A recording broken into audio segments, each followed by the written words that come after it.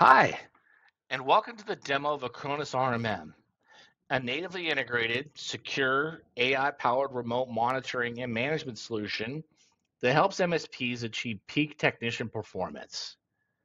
What makes Acronis RMM different from other RMM solutions? First, it's not a standalone product. It's a natively integrated part of the Acronis Cyber Protect Cloud platform, unifying RMM with backup, disaster recovery, EDR, XDR, and PSA in a single console and agent. This not only improves usability, but also creates synergy across tools, enhancing protection, reliability, and operational efficiency. Acronis RMM also prioritizes security, offering unique capabilities like scripting with self-defense protection, digital signature checks, and anti-malware scans for software deployment, plus Microsoft 365 security posture management. AI and machine learning drive automation further with features like anomaly-based system monitoring and AI-assisted script generation.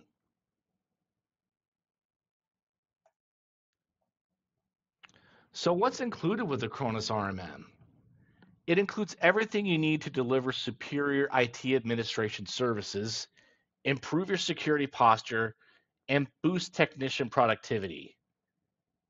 In fact, if you're already an existing MSP partner of Acronis, you likely have already been using some RMM functionality through the features included in the standard Acronis Cyber Protect Cloud product, like multi-tenant client management, DeviceSense for endpoint discovery and at-scale onboarding, protection plans management, and agent installation. But when you activate a Acronis RMM, you unlock a wide range of new powerful features. Let's go through the most important ones. Uh, so I want to go through the console and give a, a visual representation of Acronis RMM from a user standpoint or from somebody that's administering the protections uh, contained within Acronis RMM.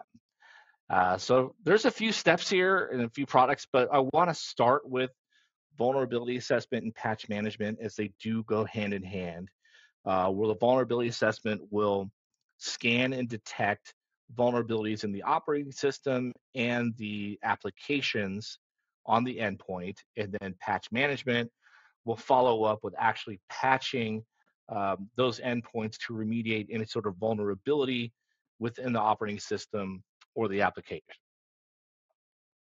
So with most Acronis protections, you are going to use a protection plan.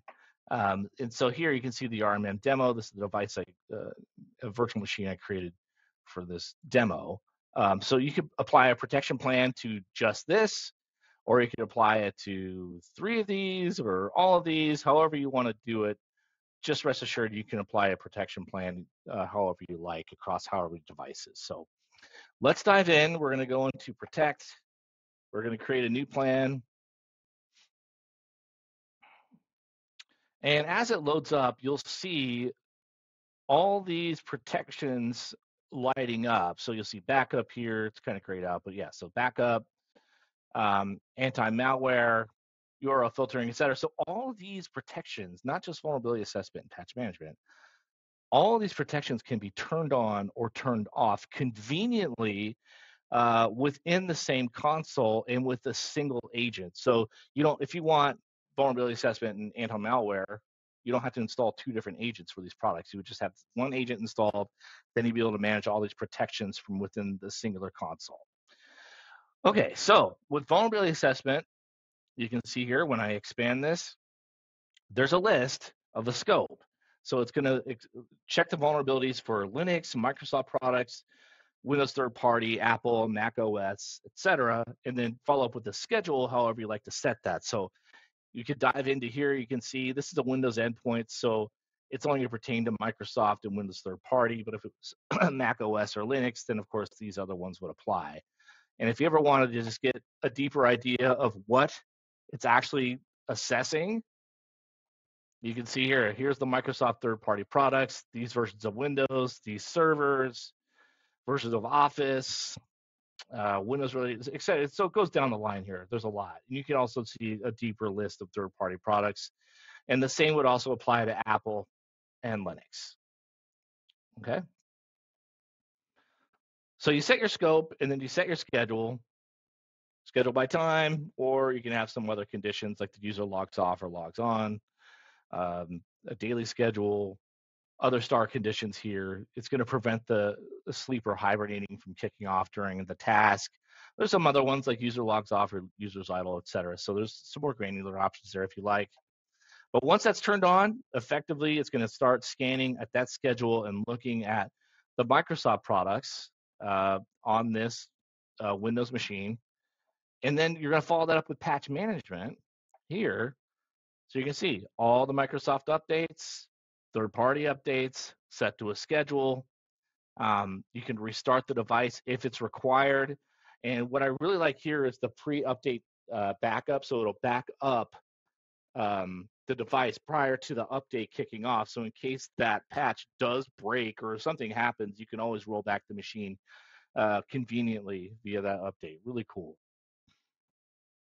So once that's set, then you can dive into the console area where you can see the vulnerabilities that are detected and the available patches to apply to those machines. So you could apply the patches uh, manually uh, going down the list, or you could also have an automated patch procedure as well. And I will show you that here. Um, software management. You're going to see here's the vulnerabilities. There's going to be a lot because there's a lot of endpoints and there's a lot of uh, applications and operating systems. So you can see here, just Firefox alone has a lot, but you can see Adobe Reader and Microsoft third party and whatnot. Okay, so it finds those vulnerabilities, and you can set by severity as well. Definitely critical will be the ones you want to look at. So you you see your vulnerabilities, and then from here you can follow it up with patching. So manual patching, you would basically come into the device that the vulnerability assessment discovered, install the patch. Uh, you can manually set it from pending approval to approved or declined, and basically go from there. If you wanted a more uh, like a mass uh, application of these patches, you would go here to your settings, the lifetime in the list is set to seven days. You know, basically, you don't want to have all these um, patches just sitting here because it's gonna. You can see the list gets pretty big pretty fast. Um, so it'll clear after seven days, uh, and then patching approval and testing. The patch will change to approve when the selected number of days patches after a successful patch. So it'll automatically uh, change that um, from say like testing to approved after five days. So what Acronis recommends if it's like a bleeding edge patch or a new patch that just came out to just apply that patch to a test device, make sure it works, and then from there go ahead and approve it. But that's pretty much it as far as the patch management and um, vulnerability assessment. You are good to go from there.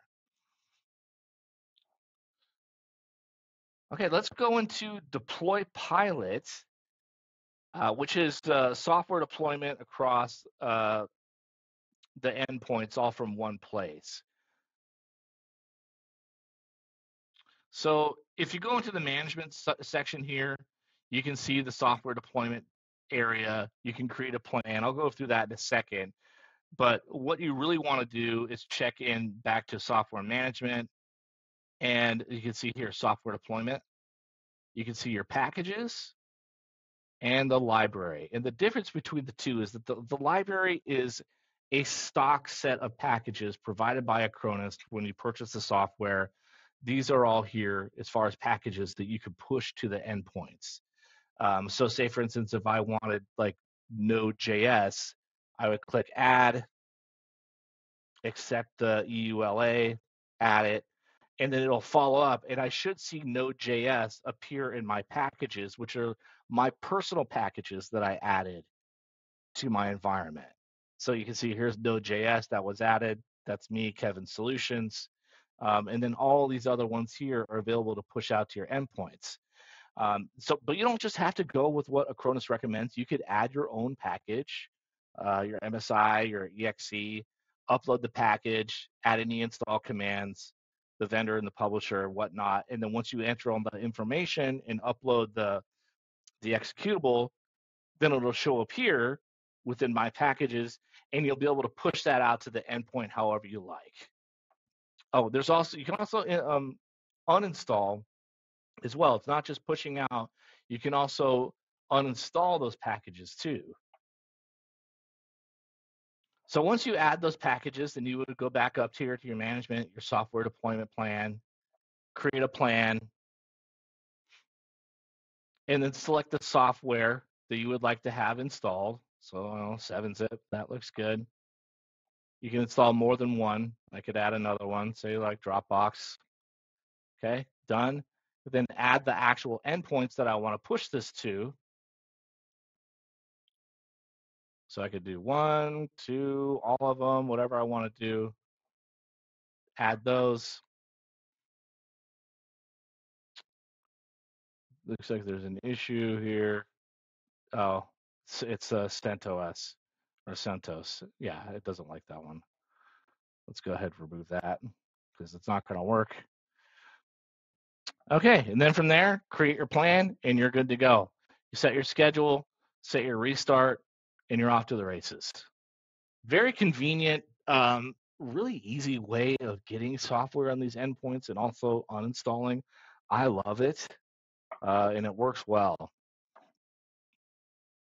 Okay, from here, we'll dive into the monitoring plan uh, as far as machine learning based monitoring, um,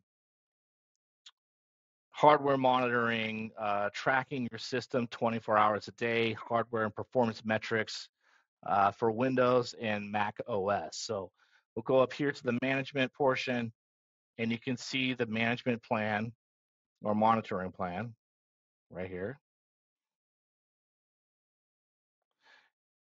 So these are already created, baseline monitoring, disk monitor. You can see here what's already set. So installed software, CPU usage, disk space. But let's go ahead and create our own. Create our own plan.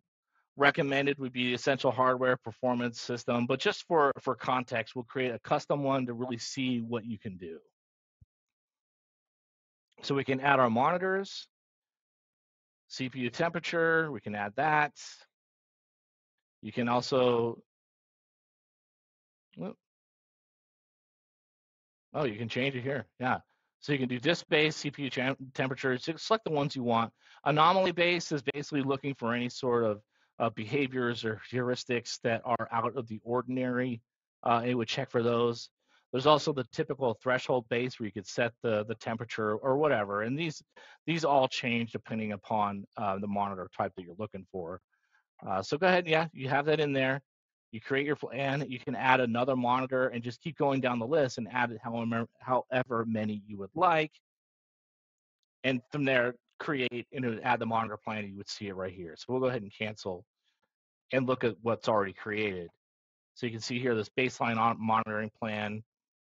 Again, the disk space, the failed logins, whatnot. But what's really cool too is if you go into the alert section here, there's response actions and it, they're all different depending upon the monitor that's selected. So see here, like response action for this disk space model, you can see browse the disk space usage, run a script, uh, connect via NEAR. That's that's essentially um, our remote uh, management where you could remote into the device or connect via RDP.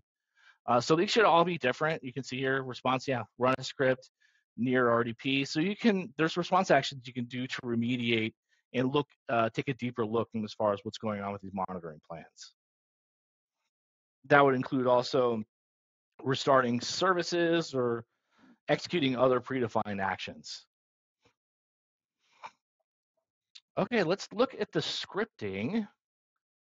So a lot like the, the software management and DeployPilot where you you would select the software you want to uninstall or install and then apply that to a plan scripting is is the same way essentially where you would have a script repository and then add that to a scripting plan. So you can see here, here's the repository. Here's all, well, let's look at the library first. So this is a lot like the other static library that's curated and created by Acronis, similar to the software library. But these are all the scripts built by Acronis. So there's over 40 ready to go. So you can see like get system info, forced restart, all these, okay? But you can also create your own. And if you're bad at scripting like I am, you can you can create your own script using AI, or you could just write your own here, right? So if you wanted to create uh, an AI script, you would say like uh, uh, clear DNS cache, you know, a prompt for whether you want to do it in PowerShell or Bash, the operating system, generate that script, and it should create a script here. Yeah, here we go. So that'll be created. You can have it uh, change the status of being a draft, testing, or approved. Just make sure it works uh, on an endpoint. Add some credentials, add some arguments, and then from there save it, and it'll be it'll appear as a script within your library. Okay. Let's go ahead and discard those changes. And then from there, once it's created, you can follow up with a scripting plan, create your plan, add the script that you like. There's another DNS cache one. Okay, select the schedule, add the workloads that you want to apply that to. This would be the endpoints involved. Let's do it on this RMM demo. Sure. System account is the account, you know, or you could have the currently logged on account. And the maximum duration of